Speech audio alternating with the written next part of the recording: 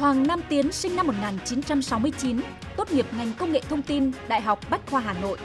Gia nhập FPT từ năm 1993 đến năm 2011, ông Tiến giữ vị trí chủ tịch. Trong 8 năm, FPT Software đạt tốc độ tăng trưởng trung bình trên 30%, trở thành một trong 500 công ty phần mềm lớn nhất trên thế giới, là người đầu tiên đưa các đối tác lớn của nước ngoài vào Việt Nam. Từ tháng 3 năm 2020, ông Tiến giữ chức chủ tịch FPT Telecom. Trong quá trình làm việc và tuyển chọn đội ngũ, ông Tiến luôn cho rằng năng lực và thái độ của người làm quan trọng hơn bằng cấp của họ. Ông từng nói với thế hệ Z, thế hệ trẻ từ năm 1995 trở lại nay, rằng để sống sót, các bạn phải học suốt đời. Xin kính chào quý vị và các bạn. Rất vui được đồng hành với quý vị và các bạn trong chương trình khách mời NTV của Đài Phát thanh Truyền hình Nghệ An. Bắt đầu từ tháng 1 năm 2021, chương trình khách mời NTV sẽ liên sóng đều đặn vào tuần thứ tư hàng tháng. Mỗi chương trình sẽ là một câu chuyện, một vấn đề đang được dư luận quan tâm và khách mời sẽ là những chuyên gia đầu ngành, những người có tên tuổi, vì thế và tầm ảnh hưởng nhất định trên một lĩnh vực khác nhau. Và câu chuyện chào xuân mới năm 2021 hôm nay, chúng tôi à, mời đến trường quay diễn giả Hoàng Nam Tiến, Chủ tịch FPT Telecom. À, với thông điệp mà ông Hoàng Nam Tiến mang tới cho những bạn trẻ thế hệ Z, đó là để sống sót các bạn phải học suốt đời. Kính chào ông Hoàng Nam Tiến ạ. Rất vui được đồng hành cùng à, ông trong suốt à, chương trình ạ. À, Nghệ An là một trong những tỉnh có thể nói là có số lượng sinh viên ra trường à, đông học top đầu của cả nước đấy ạ. Nghệ An cũng nổi tiếng là mảnh đất có truyền thống hiếu học và học giỏi nhưng có một cái nghịch lý đó là sinh viên ra trường thì rất nhiều bạn thất nghiệp và thậm chí có những bạn là học rất giỏi nhưng lại à, phải làm trái nghề. Chúng ta cùng theo dõi một cái clip ngắn sau đây ạ. Phan Hiền Trang, tốt nghiệp Đại học Kinh tế Quốc dân, khoa Kinh tế Quốc tế. Dù đã nỗ lực rất nhiều, nhưng Trang vẫn không xin được việc làm đúng chuyên môn. Sau nhiều lần chuyển việc, hiện nay Trang làm chuyên viên tư vấn cho công ty cổ phần giáo dục Aeroline. Một công việc hoàn toàn trái với chuyên ngành đã học.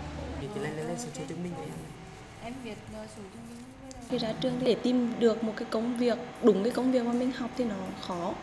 Cho nên là mình rẽ ngang vào một công, công việc trong nước, tức là nó không liên quan đến quốc tế. Trang chỉ là một trong hàng ngàn sinh viên tốt nghiệp làm trái nghề hoặc thất nghiệp ở Nghệ An. Sau khi ra trường thì tôi cũng rất khó xin được việc. Đến khi xin được việc ừ, phù hợp với mình thì mức lương này không đảm bảo cho cuộc sống. Để xin vào công chức thì nó cũng khó. Thế sau đây bắt buộc mình phải bươn trải hay là mình làm trái ngành trái nghề là chuyện bình thường. Riêng Nghệ An, mỗi năm các trường đại học cao đẳng, trung cấp của tỉnh đào tạo từ 19.000 đến 20.000 sinh viên. Số sinh viên người Nghệ An ra trường chưa có việc làm hiện khoảng 20.000 người. Ngay cả những sinh viên học các ngành hot được đánh giá là thị trường đang cần như công nghệ thông tin hay dịch vụ du lịch vẫn thất nghiệp. Vâng, như cái số liệu thống kê này thì đúng là à, cái số lượng sinh viên Nghệ An thất nghiệp ra trường đúng là một cái điều đáng bàn đấy ạ. À, vậy thì quan điểm cá nhân của ông như thế nào có thể à, có một cái lý giải về điều này? Thứ nhất là lỗi từ nhà trường đã. Rất rất nhiều nhà trường bây giờ là cái chương trình đào tạo và giáo dục là có một khoảng cách rất lớn đối với cả những yêu cầu xã hội, đối với yêu cầu doanh nghiệp, đối với à, cái sự phát triển chung của xã hội dẫn đến chỗ là việc các bạn kiến thức các bạn học ra nó có cái khoảng cách quá lớn đối với cái việc mà xin được việc làm. Việc thứ hai là chính tại các bạn sinh viên. Tôi muốn nói này rất nhiều bạn sinh viên học rất giỏi và học học giỏi đúng những thứ gì được dạy trong trường. Các bạn thậm chí còn không quan tâm đến là ờ, ở ngoài xã hội người ta cần gì. Có rất nhiều bạn là chọn ngành nghề là chọn phải những cái ngành nghề. Mà khi ra trường thì đương nhiên thất nghiệp bởi vì những ngành nghề đấy là xã hội người ta ngày càng cần nhu cầu ít đi. Tiếp đến nữa là rất nhiều bạn nói rằng là em rất chịu khó đi làm thêm.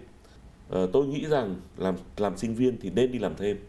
Nhưng chắc các em nên đi làm thêm cho những ngành mà chính các em đang theo học. Tiếp đến nữa trường đại học ngày hôm nay chỉ có một ít trường thôi là dạy các gọi là thường gọi là các kỹ năng mềm những kỹ năng mềm này sẽ quyết định liên quan đến gọi là thái độ và trình độ. À, các em có thể học rất giỏi. Đặc biệt là các em sinh viên nghệ an học rất giỏi. Học chuyên môn rất giỏi. Học kiến thức giỏi. Nhưng các em hết sức thiếu những cái kỹ năng mềm để ra đi làm. Tôi có thể thống kê như này. Là khả năng làm việc theo nhóm. Sinh viên nghệ an giỏi. Giỏi đến mức là tự kiêu.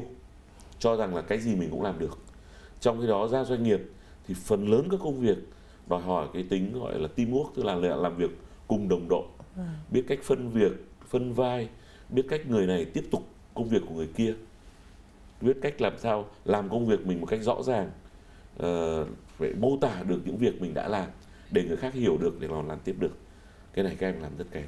Và càng những em học giỏi ở trong trường đại học thì lại càng kém cái này. Vâng. Điều thứ hai là các cái kỹ năng liên quan đến bọn tôi hay gọi là kỹ năng phản biện và tranh luận. Ra đi làm nó khác với ở trong vâng. trường. Các em cần phải đặt lên bàn những vấn đề lật ngược lật xuôi các vấn đề nhìn từ nhiều chiều. Bọn tôi gọi là nhìn 360 độ. Vậy mà các em lại không tập luyện những cái đấy. Trong nhà trường thì về cơ bản cũng không dạy những thứ đấy. Dẫn đến chỗ là với tính cách của người nghệ an thành ra các em rất khó mà có thể có sự thống nhất có sự thỏa hiệp có sự uh, uh, nhất trí với nhau để làm việc.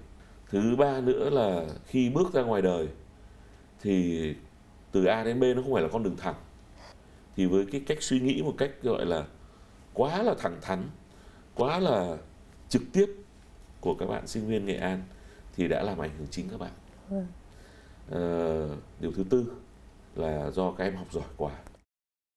Các em tự cho rằng là những kiến thức mà các em có được chủ yếu là trong nhà trường và dùng trên internet các em cho rằng mình biết tất cả và điều đấy làm hại cho các em rất cảm ơn ông à, Hoàng Nam Tiến. Như ông phân tích thì có rất là nhiều nguyên nhân dẫn đến sinh viên thất nghiệp và uh, trong đó thì uh, có cái uh, như ông có nói là quá giỏi hoặc cũng đôi khi có có tự phụ một tí ở trong đấy và một trong những ví dụ như là uh, sinh viên chọn nhầm nhầm nghề chẳng hạn.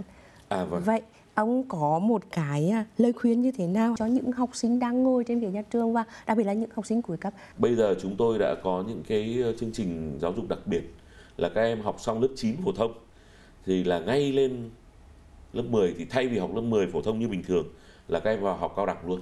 À. Tức là định hướng là cho mình học nghề luôn. Và đây là con đường rất tốt để các em khi mà 19 tuổi ra trường là các em có thể ngay lập tức đi làm kiếm tiền và sau đó nếu các em có nhu cầu học đại học thì các em sẽ dành ra khoảng 2 năm nữa để học tiếp đại học. Tôi ừ. nghĩ đây là con đường rất tốt đối với rất rất nhiều em nếu như chúng ta không nghĩ rằng mình là nhóm quá giỏi thứ hai nữa là ngay từ lớp 10 các em cùng đặc biệt là cùng gia đình với tôi kể câu chuyện cá nhân của tôi đi. À, tôi thì với con tôi bao giờ cũng phải thảo luận rất kỹ à, chúng tôi có những bài test bài kiểm tra đấy à, tôi nghĩ rằng là bài kiểm tra đấy bây giờ rất phổ biến tức là kiểm tra những cái gì mình giỏi à, kiểm tra kiểm tra những cái gì mà mình yêu thích và kiểm tra những cái gì mà xã hội cần ừ. cả ba điều này mà càng lồng ghép được với nhau nhiều thì khả năng kiếm việc mình càng tốt ở đây thì có một lời khuyên rất hay là thế này các bạn có thể vào những cái uh, website vào những cái portal ở đấy người ta chia sẻ những bài giảng xuất sắc nhất thế giới ừ. tất nhiên nó đòi hỏi tiếng Anh. Cái này đến giờ thì chúng ta cũng nói rất nhiều về những cái yếu tố chủ quan, nó thuộc về chủ quan dẫn đến mà à, sinh viên à, ra trường không tìm được việc làm ấy.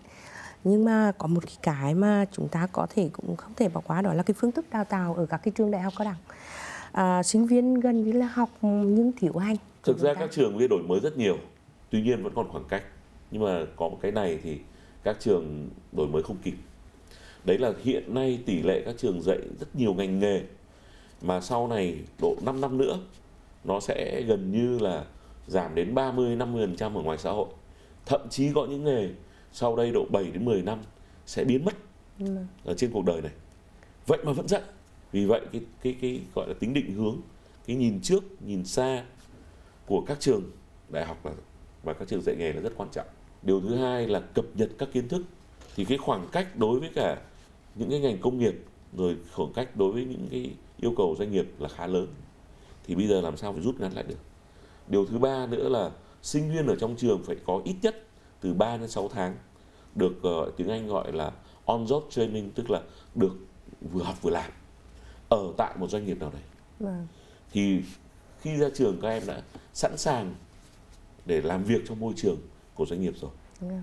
Nếu mà làm được những điều đó thì với sự nỗ lực của cá nhân các em nữa thì sẽ là một sự thay đổi lớn vậy thì khi mà uh, ở các cái trường đại học không thể cho họ những cái cái trải nghiệm những cái thực hành như thế thì uh, các bạn cần phải làm gì khi tốt nghiệp có thể đáp ứng được yêu cầu của vâng. các cái chủ sử dụng lao động? Các em phải nên chủ động học những cái gì mà các em yêu thích.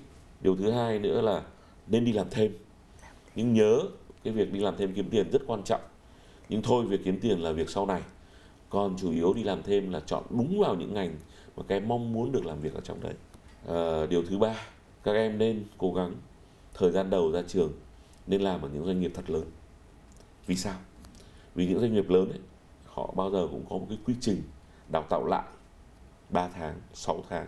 Họ những có những người đầy kinh nghiệm để làm huấn luyện viên chúng tôi hay gọi là mentor đấy, cho các em để các em có thể nhanh chóng tiếp thu được kiến thức dạy hướng dẫn được cách làm việc trong những tập thể lớn làm việc theo vàng. Thì có ra các doanh nghiệp nhỏ hơn hoặc là tự mở doanh nghiệp của mình hoặc tự làm startup thì nó cũng có một cái vốn kiến thức trong người rồi. À, vâng, với những cái phân tích sâu sắc của à, một diễn giả có nhiều kinh nghiệm và thành công như ông Hoàng Nam Tiến. À, tin chắc rằng là các bạn sinh viên ra trường đã có một cái câu hỏi đó là cần làm gì để ra trường không à, bị thất nghiệp nhưng đó mới chỉ là bước khởi đầu. Các bạn cần làm gì để sống sót và phát triển trong thời đại công nghệ số? Cần làm gì để trở thành một công dân toàn cầu? Chúng ta tiếp tục đến với phần 2 của chương trình Khách mời NTV.